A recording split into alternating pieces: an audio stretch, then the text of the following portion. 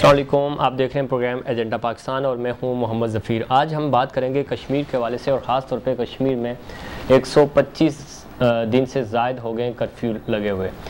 وہاں پہ بھوک، افلاس راج کر رہی ہے اور ہیومن رائٹس کی وائلیشن ہو رہی ہے۔ پوری دنیا یہ تمام چیزیں دیکھ رہی ہے، اس کے باوجود خاموش ہے۔ کیوں؟ اور خاص طور پہ آج کے اس پروگرام میں ہم بات کریں گے کشمیر کا سفیر وہ کیمپین کہاں چلی گئی اور کشمیر کے جو سفیر تھے وہ آج کل نظر کیوں نہیں آ رہے؟ اور خاص طور پہ شارک کٹ رہی ہے اور عوام مایوس ہو رہے ہیں اور یہ مایوسی کیوں ہے؟ اور آزاد کشمیر کے جو عوام ہیں وہ بھی پاکستان کی طرف دیکھ رہے ہیں۔ مقبوضہ کشمیر والے تو دیکھ ہی رہے تھے، لیکن مایوسی کا جو عنصر ہے، یہ کیوں بڑھتا جا رہا ہے؟ دوسری طرف ہاں، ایک، یہ ایک بیانیہ بھی چل رہا ہے کہ کہیں کشمیر کا سودا تو نہیں ہو گیا اور ادھر ہم، ادھر تم کا نعرہ ایک دفعہ پھر لگنے والا ہے یا لگ چکا ہے۔ ان تمام ایشوز پہ بات کریں گے اور خاص طور پہ پاکستان کی خارجہ پالیسی کیا ہے کشمیر کے حوالے سے۔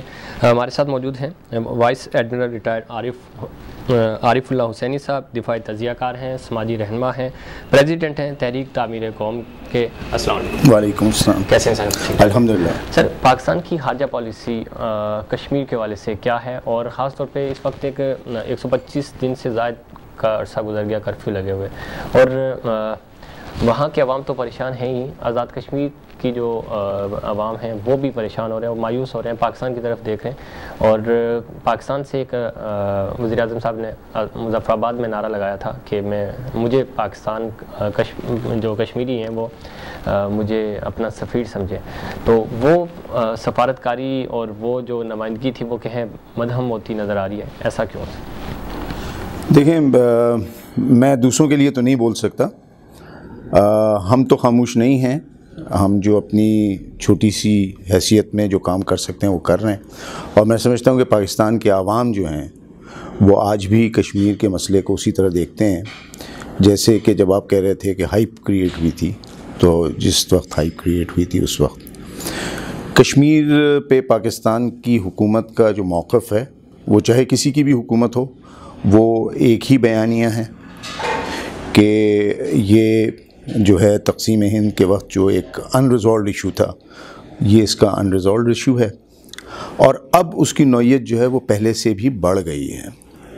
اس کی وجہ یہ کہ ہندوستان میں جو کشمیری رہ گئے یا ہندوستان نے جو کشمیر کو آکیپائی کیا، مقبوضہ کشمیر، وہاں جس طریقے سے انہوں نے حکومت کی اور جس طریقے سے کشمیری عوام کی کے حق کو پامال کیا گیا آج وہ سراپا احتجاج ہیں اور وہ کسی بھی صورت میں ہندوستان کے ساتھ نہیں رہنا چاہتے۔ ہیں یہ بات آپ کی بالکل صحیح ہے کہ وہ کسی بھی طور پہ ہندوستان کے ساتھ رہنا نہیں چاہتے، لیکن 370 اور 35 اے کے بعد وہاں جو کرفیو لگا پروٹیسٹ بھی ہو رہا ہے، اور اب تو وہاں سے کوئی خبر بھی نہیں آ رہی کہ وہاں کے جو عوام ہیں، ان کا کیا حال ہے۔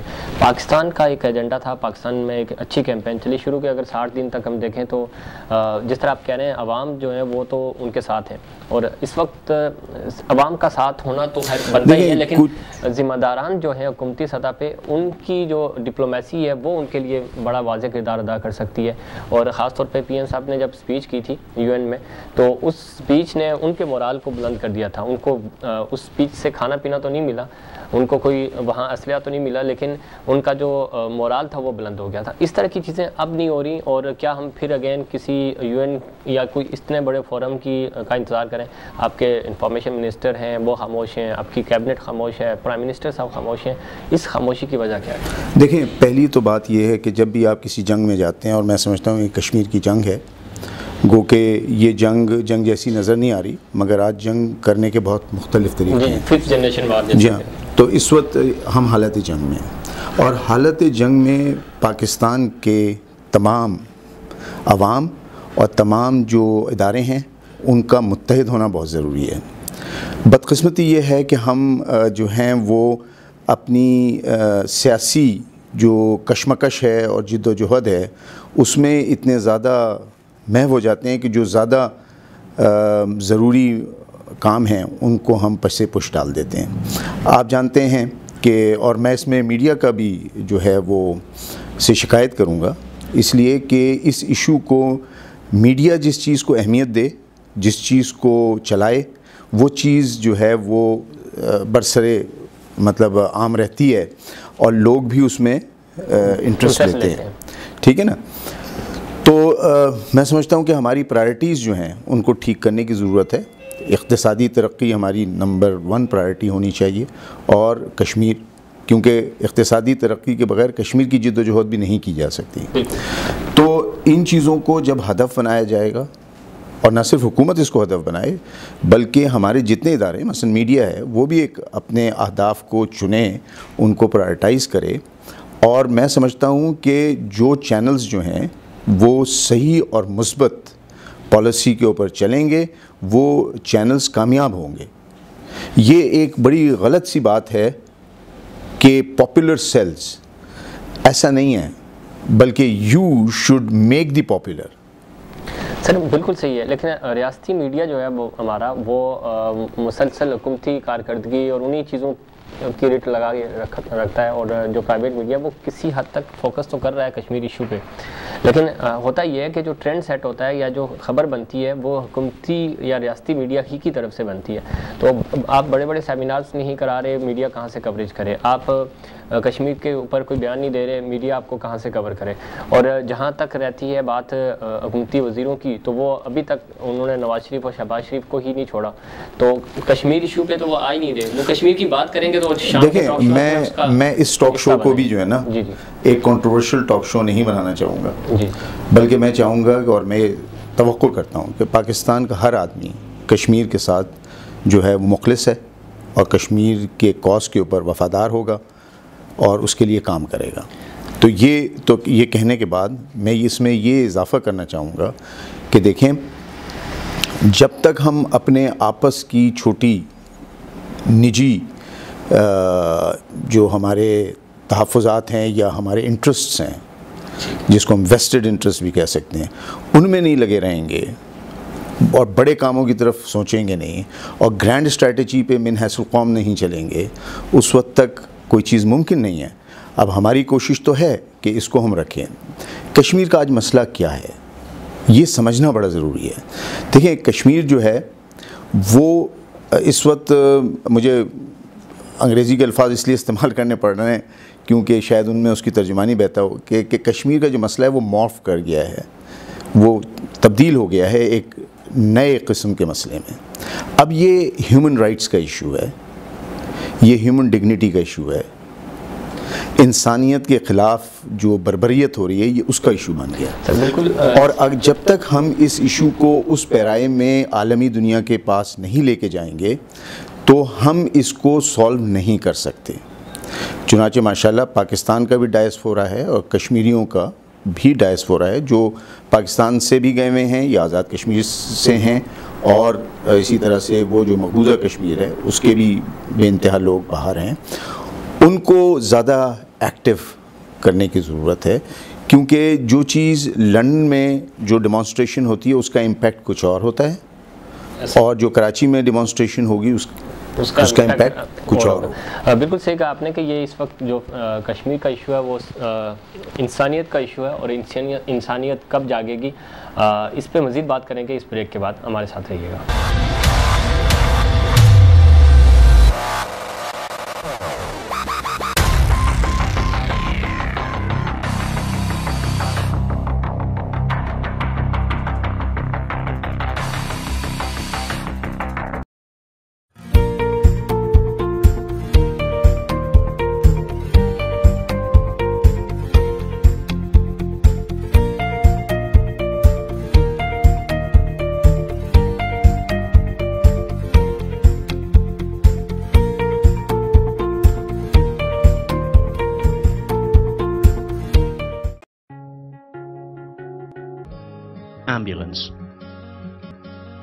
Multiple ambulances at the same place only adds to the problem. Uses an algorithm similar to that of ride-hailing apps, Uber and Careem, to connect ambulances to those in need. The app also features live tracking, through which those who need it can track its location in real time.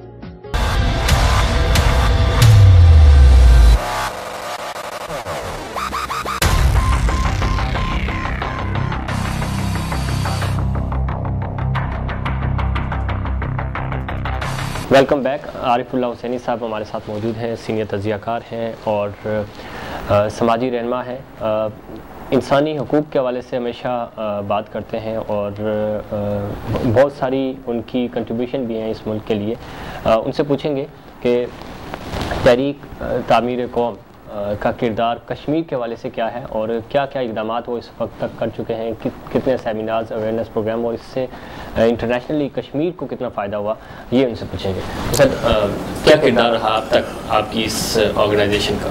جی تحریک تعمیر قوم یا nation building initiative اصل مقصد تو اس کا سب سے پہلا تھا، جو میں نے پہلے ہی دفعہ بھی بات کی تھی کہ عوام کو، پاکستان کے لوگوں کو یکجا کرنا ہے۔ تعمیر قوم کا جو معنی ہیں وہ یہی ہیں۔ جی۔ اور جب تک سارے لوگ ایک یکجا نہیں ہوں، ہم کچھ بھی حاصل نہیں کر سکتے۔ کشمیر اور بھی جو دوسرے ہمارے اہداف ہیں۔ تو ایک تو ہم اس میں بھرپور کام کر رہے ہیں۔ اور میں تفصیل میں نہیں جاؤں گا کیونکہ ہمارا آج کا موضوع کشمیر ہے۔ کشمیر پہ ہمارا جو خیال ہے، جو ہماری اسٹریٹجی ہے، وہ یہ ہے کہ دیکھیں، کشمیر کی جو مسئلہ ہے، کشمیر کا جو مسئلہ ہے، جیسے میں نے پہلے کہا کہ معاف کر گیا انٹو اے ایشو تو اس کے چار فیزز ہوتے ہیں اور اب ہم فیز ٹو میں آ گئے ہیں جہاں پہ انڈینز اس کو کچل دینا چاہتے ہیں۔ اور اگر انڈین کچلنے سے میں کامیاب نہیں ہوئے تو پھر اس کو کامیابی سے کوئی روک نہیں سکتا۔ تو یہ بڑا کرٹیکل ٹائم ہے۔ اور اس ٹائم کے اندر کشمیریوں کی مدد مٹیریل سپورٹ کرنے کی بڑی ضرورت ہے۔ مگر جی ہاں اس کو کرنے کے لیے سب سے پہلے تو یہ ہے کہ یونائٹ نیشنز کے چارٹر میں بھی گنجائش ہے کہ جب لوگ اپنے حق خود ارادیت مانگ رہے ہوں رائٹ آف سیلف ڈٹرمنیشن تو وہ چیز ہے جس کی وجہ سے یونائٹ نیشنز بنی ہیں۔ تو ہمیں اس چیز کو حاصل کرنے کے لیے اس کو اتنا اس درجے پہ لے جانا ہوگا کہ جہاں دنیا یہ کہے کہ ہاں ان کا جو آزادی کا نعرہ ہے، یہ جائز نعرہ ہے۔ آج جو ہے نا دنیا اس کو عالمی دنیا خصوصاً سیاسی دنیا جو ہے وہ اس کو دیکھتی ہے as a issue between two countries so it is no more an issue between two countries it is a issue between two countries but اس سے زیادہ بڑھ کر یہ انسانیت کا مسئلہ بن گیا اور اس سے عالمی امن کو بھی خطرہ ہے۔ جب تک اس چیز کو بھرپور انداز سے ہم اجاگر نہیں کریں گے تو اس وقت تک ہم کامیاب نہیں ہو سکتے۔ چنانچہ ہمارے ساتھ جو ہیں وہ human right council of Pakistan بھی ہے اور ہم یہ سمجھتے ہیں کہ سارے کام ہر کام اس کو اچھا لگتا ہے جو جس جو اس کا علم بردار ہو۔ تو ہم human right council of Pakistan کی بھرپور مدد کر رہے ہیں۔ آپ کو پتہ ہے کہ کل ایک کانفرنس بھی ہو رہی ہے جس میں ہم نے آزاد کشمیر کے پرائم منسٹر کو بلایا ہے کیونکہ وہ صاحب معاملہ ہیں۔ جی۔ ٹھیک ہے نا؟ اور صاحب معاملہ جس طریقے سے کر سکتا ہے تو اس سے پاکستان کے اندر بھی کشمیریوں میں بھی اور بیرونی ممالک میں بھی ایک دفعہ دوبارہ جو ہے ہم کو کوشش کرتے ہیں کہ جو ہے دوبارہ اس ایشو کو بھرپور انداز سے اٹھائیں۔ اور ہم میڈیا سے درخواست کریں گے کہ وہ بھی اس کانفرنس کو امپورٹنس دیں۔ گو کہ چھوٹی کانفرنس ہے مگر اگر وہ اس کو بھرپور انداز سے کور کریں گے اس مسئلے کو اٹھائیں گے تو یہ بڑا ضروری ہے پاکستان کے لیے بلکہ پاکستان سے زیادہ پوری انسانیت پوری انسانیت کے لیے۔ سر اچھا انیشیٹو ہے اور آپ نے اداروں کی بات کی۔ اس طرح کی آرگنائزیشنز جو ہوتی ہیں سیمینارز سے میڈیا ٹاکس سے یا اس طرح کی واکس کرانے سے بہت زیادہ زیادہ امپیکٹ پڑتا ہے۔ چونکہ عام عوام اس میں شرکت کرتے ہیں اور اویئرنیس پروگرامس کرنے سے انٹرنیشنلی اس کا بڑا اچھا امپیکٹ پڑتا ہے۔ یہ ادارے کتنا ایک پیج پہ ہیں؟ جتنے بھی سماجی تنظیمیں ہیں یا اس طرح کی جو جو ہیومن رائٹس کی آرگنائزیشنس ہیں۔ یہ کیا کشمیر کاز کے لیے ایک پیج پہ ہیں؟ دیکھیں، کشمیر کاز کے اوپر جو ہماری پاکستانی آرگنائزیشنز ہیں، اور میں سمجھتا ہوں کہ یہ ایک ایسا مسئلہ ہے کہ جس میں کم و بیش جو ہے نا اختلاف نہیں ہے لوگوں میں۔ اور پورے پاکستان اس پہ یونائٹڈ ہے اور رہے گا۔ ہاں یہ بات دوسری ہے کہ ہم اس کو کتنا، اس پہ ایکشن والا کام کر رہے ہیں۔ تو ایکشن میں کمی ہے، اس ایکشن کو بڑھانا ہے۔ جو حکومتی سطح پہ بھی ضرورت ہے اور میں سمجھتا ہوں کہ عوامی سطح پہ ضرورت ہے۔ دیکھیں، آج کی جو دنیا ہے نا، اس میں حکومتوں سے زیادہ عوامی سطح پر افیکٹیویٹی بڑھ گئی ہے انٹرنیشنلی بھی۔ تو ہیومن رائٹس کی جو انٹرنیشنل آرگنائزیشنز ہیں، ان کو لنک اپ کرنے کی ضرورت ہے۔ اور وہ لنک اپ اس وقت ہوتی ہیں جب کوئی ایشو پر کی جو ہے، جہاں ظلم زیادہ ہو، وہ اس چیز کو اجاگر کرتی ہیں۔ تو اگر ہم اس کو اس ایشو کو صحیح انداز میں لے کر آئیں گے تاکہ جو انٹرنیشنل ہیومن رائٹ آرگنائزیشنز ہیں ویسٹرن کنٹریز میں بھی اور ویسٹرن کنٹریز کے علاوہ بھی ان کو ہم انگیج کریں تو ایک جو ہے نیریٹو انٹرنیشنل نیریٹو ڈیولپ ہوگا۔ اور اس میں ہمیں وہ گنجائش ملے گی کہ ہم یونائٹڈ نیشنز کے چارٹر کے کا فائدہ اٹھاتے ہوئے ہم کشمیریوں کی میٹیریل سپورٹ کریں۔ اس وقت تو سب سے زیادہ کشمیریوں کو مورل سپورٹ کی ضرورت ہے کہ کوئی ان کے ساتھ ہے۔ اور دیکھیں میں ان کو سلام کرتا ہوں۔ ان کو ان کو بہت میں وہ جو جد جہد کر رہے ہیں آپ کو ایک دن بند کر دیا جائے تو پتہ چل جاتا ہے۔ اس وقت انڈیا نے بعض علاقوں سے کرفیو ہٹا لیا ہے اور انڈیا چاہتا ہے کہ وہاں اب نارملسی آ جائے۔ مگر کشمیری جو ہیں وہ خود اپنی دکانیں نہیں کھول رہے۔ تو وہ میں سمجھتا ہوں کہ انڈیا جو ہے اب کشمیریوں کو دوبارہ ون بیک نہیں کر سکتا۔ مگر کیا ہم ان کو ون کریں گے؟ یہ بھی ایک سوالیہ نشان ہے۔ تو اگر ہمیں بحیثیت پاکستان ایک مملکت کے ان کو ون بیک کرنا ہے تو حکومت کو بھرپور پرو ایکٹیولی کام کرنا پڑے گا۔ صرف نعرے سے کام نہیں چلتا یا لیپ ٹاک سے بات نہیں چلتا بلکہ you have to do things which are actions actionable چیزیں کرنے سے جو ہے ریزلٹس آتے ہیں. سر پروگرام کا وقت کم ہے. آخری ایک منٹ ہے. سوشل میڈیا کا دور ہے. میڈیا کی آپ بات کر رہے ہیں. میڈیا سے بھی ایڈوانس ہو گیا سوشل میڈیا ٹویٹر پولیٹکس ہو رہی ہے دنیا بھر میں. کتنا امپیکٹ پڑتا ہے اور کتنا امپیکٹ پڑ سکتا ہے آپ کی اس طرح کی آرگنائزیشنس کا اور اگر اس کا بھرپور سوشل میڈیا استعمال کیا جائے اور انٹرنیشنلی تاکہ اس طرح کے سیمینارز گو کہ اگر میڈیا کور کرتا ہے ایسی بات بھی نہیں ہے کہ نہیں کرتا اگر نہیں بھی کرے تو بھی انٹرنیشنلی آپ کا یہ پیغام جو ہے وہ جائے۔ تو سوشل میڈیا پہ آپ کتنا فوکس کر رہے ہیں یا آپ کی باقی جو آرگنائزیشنز ہیں وہ کتنا فوکس کر رہے ہیں؟ دیکھیں سوشل میڈیا پہ جو بھی ہم ایکٹیویٹی کرتے ہیں وہ سوشل میڈیا پہ جاتی ہے۔ ٹھیک ہے۔ اور ظاہری بات ہے سوشل میڈیا کے اوپر لوگ جو ہیں وہ اپنے خیالات کا اظہار کرتے ہیں اور وہ اظہار جو ہے وہ بھرپور انداز میں کیا جاتا ہے۔ تو سوشل میڈیا تو سوشل رسپانسبلٹی ہے۔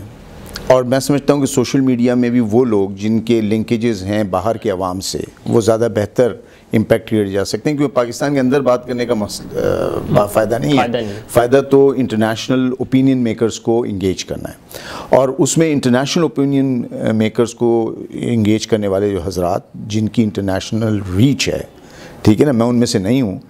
تو جن لوگوں کی انٹرنیشنل ریچ ہے میں ان سے درخواست کرتا ہوں کہ وہ اس کو سوشل میڈیا پہ لائیں۔ سوشل میڈیا کا ایفیکٹ ہے ٹیوٹر کا بھی ایفیکٹ ہے مگر ان سب چیزوں کا ایک لمیٹڈ ایفیکٹ ہے۔ آج بھی جو ہے نا جو رائٹ ٹائم پہ رائٹ ڈیمانسٹریشن کی جائے۔ مثلا اب دس تاریخ کو جو ہے ہیومن رائٹس کا ڈے ہے۔ جی۔ تو اس ہیومن رائٹس کے ڈے میں ہماری کتنی آرگنائزیشن انٹرنیشنلی انگیج ہیں؟ بہت کم۔ ٹھیک ہے نا؟ اور جو ہمارے ڈائسفورا ہے جی۔ وہ کتنا انٹرنیشنل جو ہیومن رائٹس کی آرگنائزیشنز ہیں ان کو انگیج کر رہا ہے۔ اور اس دن جبکہ ہیومن رائٹس کی بات کی جائے گی تو بہت سارے ایشوز آئیں گے۔ اس میں کشمیر کا ایشو جو ہے وہ کیا پرائرٹی اختیار کرتا ہے؟ یہ امپورٹنٹ چیزیں ہیں۔ بہت شکریہ سر، آپ نے پروگرام میں وقت دیا۔ عارف اللہ حسینی صاحب بتا رہے تھے کہ کس طرح کشمیر کا جو ایشو ہے وہ صرف دو پاکستان اور بھارت کا ایشو نہیں رہا، بلکہ پوری انسانیت کا یہ ایشو ہے۔ اور اس حوالے سے انہوں نے بڑی بہترین باتیں کی۔ ان کی باتوں سے آپ کس حد تک اتفاق کرتے ہیں، ہمیں رہے گا آپ کے فیڈ بیک کا انتظار اگلے پروگرام تک کے لیے۔ مجھے اور میری ٹیم کو دیجیے اجازت۔ اللہ نگہبان